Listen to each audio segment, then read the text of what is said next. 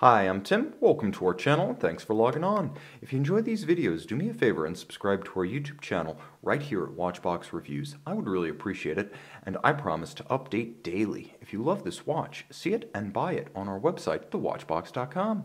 Launched for 2009, the Omega DeVille annual calendar is a fearsome combination of engineering, handsome style, and all-around durability.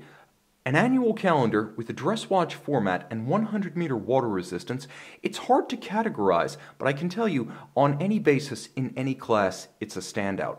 41 millimeters in stainless steel, you can see on my 16 centimeter circumference wrist, an easy watch to wear because of the tight curvature of the case. When you look at it in profile, you can see it really does have an effective camber or arc. The lugs are short cropped and tightly downturned, and the bracelet, as featured, doesn't have any rigid flare beyond the ends of the lugs themselves. So the watch is 49.7 millimeters from lug to lug and an easy 49.7 to wear. I can recommend the watch for wrists as small as 14.5 centimeters circumference on this bracelet. 20 millimeter spacing between the lugs, but you are going to want to consider the factory bracelet to be your first choice. It's a lovely piece and quite robust. It's a thick watch, but not a super thick watch. 14.5 millimeters thick means it's probably not going to slide underneath a dress shirt cuff, but you are good to go with any kind of a jacket, sports jacket or formal. The bracelet's a handsome and unique design. As you can see, the nine link design is featured is quite distinct from anything you'll see on an Omega Speedmaster or Seamaster, and that is the vast majority of steel Omegas in the world. The bracelet's nicely made, with alternating polished and satin surfaces, and you can see the double splayed flying V form of the primary links. You can also see that there's a handsome hairline bevel along the flanks of the bracelet itself, a thoughtful detail, and something that's frankly expected of the likes of Audemars Piguet, Vacheron, and Patek, but not necessarily from Omega. Nicely done. On its shoulder links, you can see a satin finish as well as polished screw heads, and all of the Removable links are fixed by screws. You have a substantial twin fold clasp with trigger actuation. It's not a sports clasp, but it's sturdy enough and secure enough that it could absolutely hold up to vigorous activity. And because this is a flagship complication for Omega, you can see the Omega logo, an insert relieved against the base with yellow gold, all in high polish. Nicely done. I should also mention that this bracelet, though something of a hybrid of a sports and dress bracelet, has everything you'd expect of a pure sports bracelet with big gaps on the underside to vent the wrist and avoid pinching skin or pulling hair.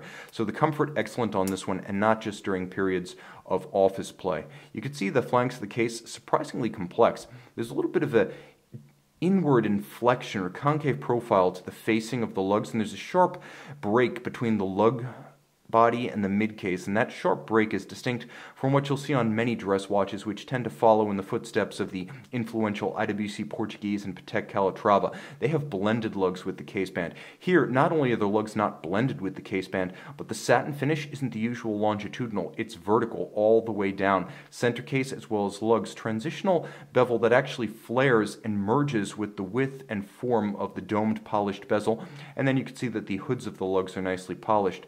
The crown featuring the Omega logo, as well as a deep knurling, easy to grip even with wet, sweaty, or gloved hands. May as well give ourselves a bit more light. We're not super distant from the watch at this point. We want to appreciate the details of the dial.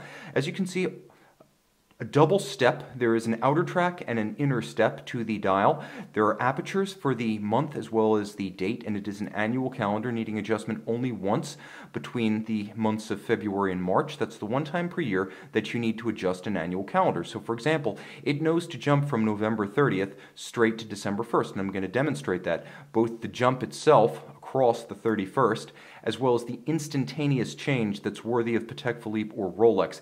It's precise and it's handy. You can also see in the process there is a stop seconds function or hacking. All of the Roman numerals are polished hand applied. They are applique, not printed, not transferred. Nicely executed. They do stand out in the light against the matte black base. Turn it all over and you can see that this is the Omega Caliber 8601. Based on, let's pop everything open, see how close we can get here. Based on the Omega 8500 family, the 8601 is the 8500 with an annual calendar. 60 hour power reserve twin mainspring barrels, COSC chronometer, tri level tangential escapement known as the coaxial, and of course the 8500s were designed from the base plate up as purpose built rather than converted coaxials, so they give you Rolex levels of toughness with the timing stability, reduced maintenance requirements, and outright precision that the inventor George Daniels originally promised. Free sprung balance with a full balance bridge for shock resistance, silicon hairspring for anti-magnetism, all of this 100 meters water resistant, and you can see it's a handsome movement with spiral arabesque Cote de Genève and blackened rather than universally blued or polished screws. You can also see that there are twin mainspring barrels and this 39 jewel movement, robustly sophisticated, somewhat thick, but tough as a result. That's one of the things. The thicker a movement in general, the tougher it is, which is why this full steel 100 meter automatic is, rightly, a sports watch. It's a dress watch too. It's both. It's an all arounder. It's the equivalent of a Ducati monster for your wrist. See it and ride the wave on the Watchbox.